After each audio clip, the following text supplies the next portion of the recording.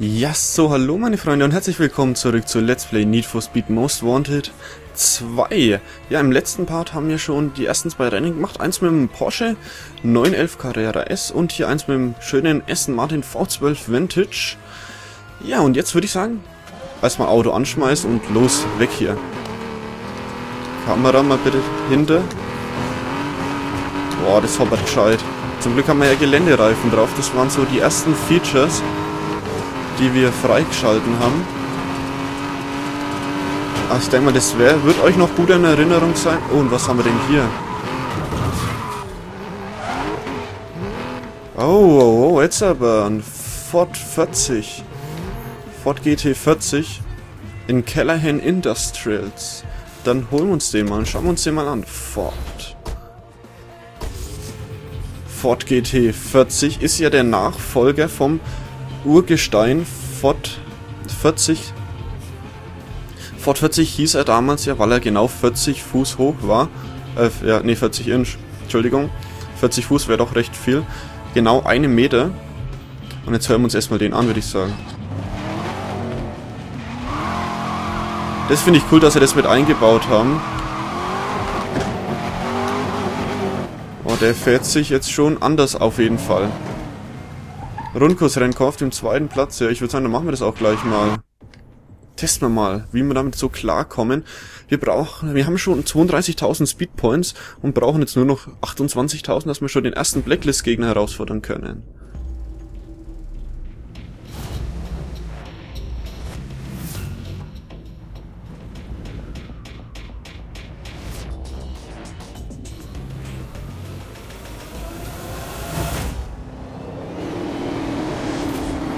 Okay, warum das jetzt alles so rot war? Gute Frage.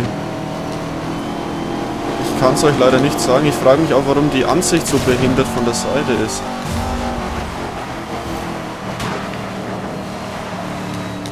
Okay, das Auto... Uiuiuiui. Oh, geil. Lexus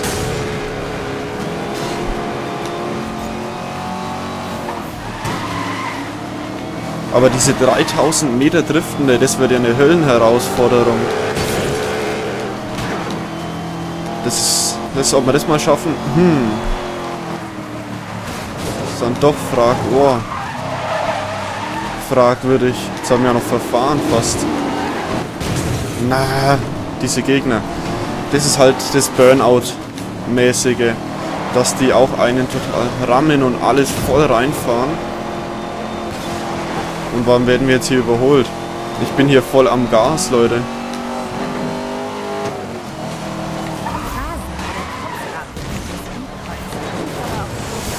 Ja.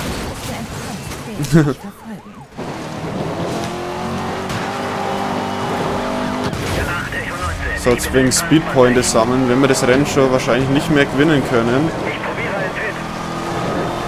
Wir sind auf jeden Fall schon Verhandlungsstufe 3. Einfach so Okay. Ob wir da mal auf 6 kommen, ist halt natürlich die andere Frage. Aber ich denke, wenn wir jetzt schon einfach so auf 3 sind, dann sollte 6 ein kleines sein. Vor wir haben jetzt halt erst hier zwei Parts und sind schon so weit. Also das hier ist jetzt auf jeden Fall unser erstes oh, Rundkursrennen. Boah, ja, ja, ja, ja will jetzt gerne da vorne noch reinkommen. Ja, jetzt haben wir hier schon wieder Bullen. Oh. Ähm, wenn man zum Beispiel in einer Ver Polizeiverfolgung fährt und jeder kennt die Nagelbretter von denen. Ähm, wenn man da durchfährt, zerhaut es logischerweise die Reifen. Kann man aber dann über das Easy Drive Menü ganz einfach die Reifen wechseln und weiterfahren. Ob das jetzt halt so die Realitätsfaktor hochtreibt, ist halt fragwürdig. Ich glaub's nicht. Und vor uns jetzt hier ein schöner McLaren MP4 12C. Sehr genial. Ein sehr schönes Auto. Falls ihr mal 200.000 übrig habt, ähm, schickt sie mir. Ich kaufe mir dann so eine Karre. Definitiv kaufe mir lieber sowas als irgendwie, keine Ahnung. Also wir sind jetzt auch noch ganz gut dabei mit Position 2. Wenn ich jetzt mal auf der Straße fahren würde, würde es eventuell noch besser klappen. Oh.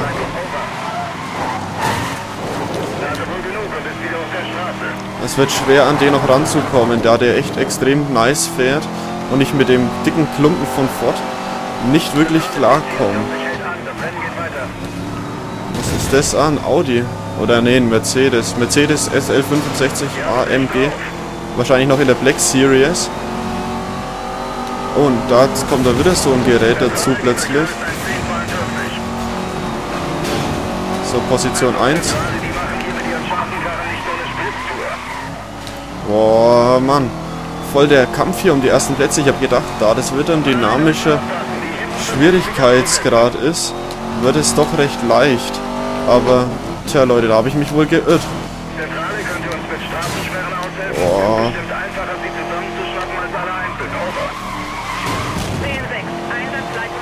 So, das ist Ziel. Und das ist doch noch der Sieg One. Sehr perfekt. Redshift Erster geworden. Mods freigeschaltet, Geländereifen und Nitrobrenner. Ja, wie immer. Ist ja jetzt nichts Neues. Jetzt haben wir, uh, 12.000 Speedpoints und jetzt brauchen wir noch äh, 12.700, um gegen Alpha antreten zu können. Ja, sehr gut. Und jetzt sind wir hier noch mitten in der Polizeiding drinnen und müssen hier flüchten. Scheiße, das wird hart. Unsere erste Verfolgungsjagd, Leute. Oh, die Strecke kennen wir. Boah, auf dem Nassen zu fahren, das ist gar nicht cool. So, ich schmeiß jetzt mal schnell Geländereifen drauf. Ah, dann fährt sich das doch gleich viel besser. An sich ist es ja eine coole Idee. Aber ja. Boah, wenig zu früh eingelenkt. Oh, hier haben wir noch einen anderen Ford. Müssen wir uns merken in Kelham Industries.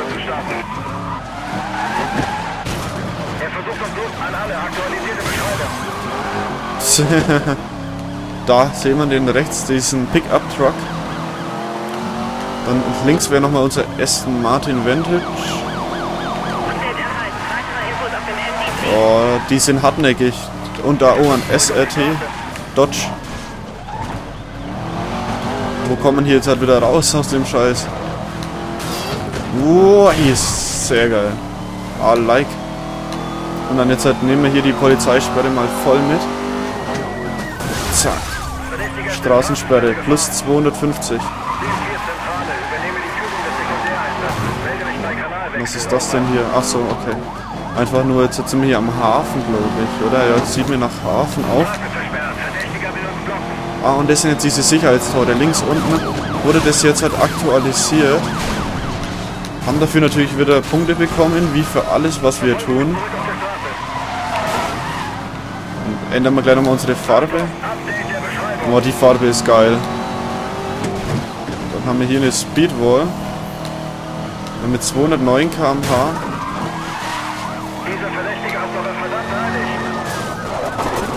Und jetzt fahren wir durchs Gelände. Das hört sich cool an, wie der Dreck in die Radkästen klatscht. Das finde ich cool. Wahrscheinlich sollte man immer so die Reifen direkt wechseln, wenn man ähm, wenn man zum Beispiel auf Gelände fährt, gleich Geländereifen drauf. Wenn man aber auf die Straße zurückkehrt, gleich wieder ähm, ja, ähm, Straßenreifen, Serienreifen drauf. Und zack. Was?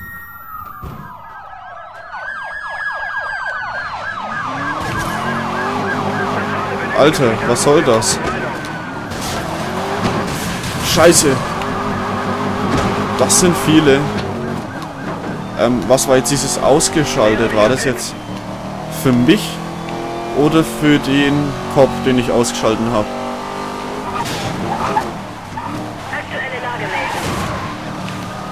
Aber ich möchte da jetzt ganz gern mal zurückfahren. Ich habe da ein interessantes Auto gesehen. Ich glaube, das war das Ariel Zeichen ausgeschaltet. Für wen? Ah, okay, ja, dann kommt da unten so eine Gestelltleiste. Alles klar. Okay, okay. Ich hätte jetzt echt nicht gedacht, dass man das so harte Verfolgungsjagden gleich am Anfang hat. New. Also diese Sprünge finde ich ganz cool. Verkehrstakedown. Wow. Alles klar. Oh, in der Fluchtphase. Ja, ich fliehe jetzt hier mal mit Vollgas. Bloß wo war jetzt dieses coole Auto? Flucht, jetzt hat geschafft. Das mal zur kurzen Erklärung. Wenn die uns jetzt halt hier nicht finden, ne? Ihr seht jetzt halt recht, äh, links unten, ne? Ähm, hinter uns ist ein Korb, ich muss noch nicht fahren. Ähm, oh oh, der kommt sogar schnell.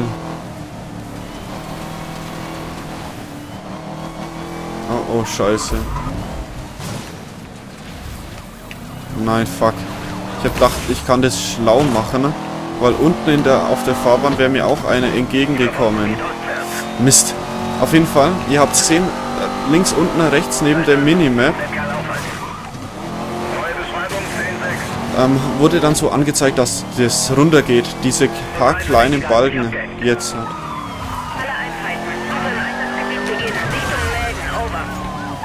Mal runter von der Boah, scheiße. Mal runter hier. Mann, Mann, Mann, Mann, Mann. Auf jeden Fall haben wir jetzt hier mal eine schöne Erkundungstour gleich. Finde ich eigentlich auch nicht schlecht. Dann erkennen wir wegen, oder lernen wir gleich wegen die Stadt kennen. Stadt ist ja Fairhaven.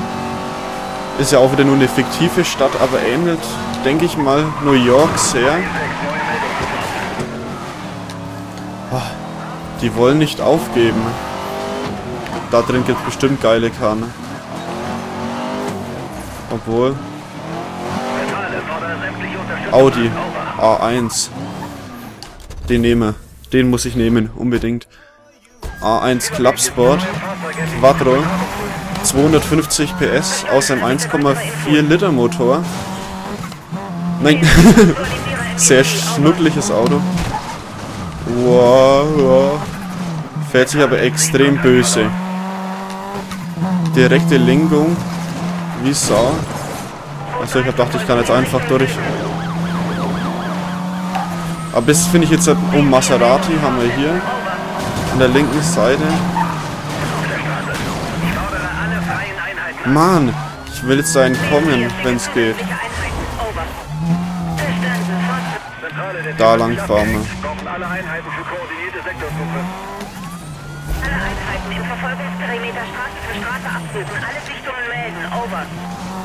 Okay, dann fahren wir jetzt einfach mal hier lang. Ich denke mal, da werden sie nicht herkommen und dann hier da ist. Zack.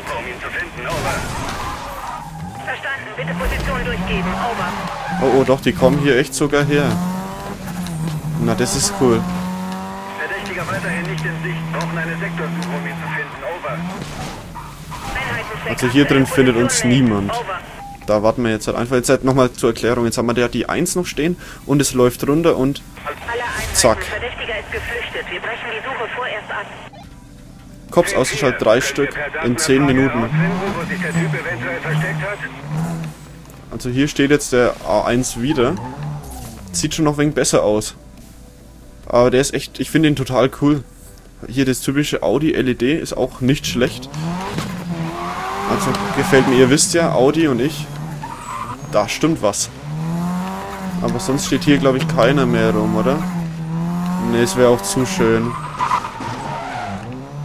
Jetzt, jetzt nehmen wir erstmal hier das EA-Schild mit. Der hat diese Auspuffrohre, wie es aussieht, hier an der Seite. Rückwärtsgang. Und jetzt hat Vollgas. Der kommt nicht mit, mit Schalten und zack.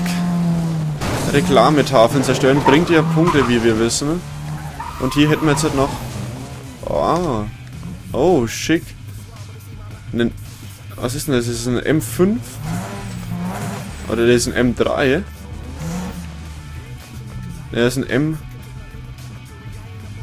Ah, okay, das ist ein E290 M3 GTR oder GTS. Ich würde sagen, den holen wir uns. Aber ja, wir holen uns einfach mal. Also wir haben jetzt schon die Autos. Ja, ist ein M3. Coupé. Ist klar. Der geht natürlich gleich wegen anders los wie so ein A1 mit 250 PS. Aber ruhig ist er und Felgen... Boah. Scheiße, nicht abstützen hier. Kacke, da wäre es ordentlich runtergegangen. Aber ähm, Felgen, genau, da haben sie auch nicht gerade die schönsten drauf. Sind ja voll die Rentnerfelgen. Okay, nichtsdestotrotz. Erstmal einen Burnout hinlegen. Und dann feuern. Ähm, jetzt hat ach genau noch eine andere Sache, schnell. Wenn ich jetzt Easy Drive aufmache und ich meine Wagen anschaue, ah, dann können wir nachgucken natürlich, welche wir haben. Aber leider nicht, wo wir sie gefunden haben. Ah, okay. Okay. Da sehen wir jetzt, wie der Audi zum M3 steht. In der Beschleunigung ist der Audi ähm, besser, Höchstgeschwindigkeit schlechter. Steuerung besser. Ähm, Gewicht ist er auch besser, weil es weniger Gewicht ist. Gelände ist er um einiges besser. Und Robustheit sind sie total gleich. Aber M3 ist halt mehr so ein Sportauto. Und der A1 ist halt, ja, äh, was hat es jetzt einfach weggemacht? Wagen, Back, Back, Mono. In Kellham Industries. Okay, habe ich gar nicht... Hä? Warte, Leute, da muss ich mal zum Wagen springen. Ich habe den doch nicht gehabt, das Auto bis jetzt hat. Oder irre ich mich? Dann bitte klärt mich auf, aber ich wüsste jetzt nicht, dass wir das, den Bug schon hatten. Ne? Bug Mono. Alter Schwede, das Auto hatten wir definitiv noch nicht. Wow, boah, der geht ja brachial los. Okay, dann gehen wir jetzt, halt, jetzt bleiben wir erstmal hier stehen. Am Wagen. BMW, ja, den M3 logischerweise, den Ford GT, den Porsche und den SRT Dodge Charger SRT 8, den sind wir auch noch nicht gefahren. Aber der ist auch in Kelhelm Industries. Dann hocken wir uns jetzt nochmal in das Auto auch rein. SRT. Oh, neues Most Wanted Rennen verfügbar. Ah, okay. Genug Speedpoints, um einen Most Wanted Fahrer herauszufordern. Finde und besiege ihn. Nimm dir seinen Wagen und sei einer der Most Wanted. Ja, alles klar. Ich würde aber sagen, das machen wir im nächsten Part. Ich danke euch auf jeden Fall jetzt fürs Zusehen. Wünsche euch wie immer einen schönen Tag. Macht's gut und auf Wiedersehen. Ich bin's, euer Flashy. Ciao.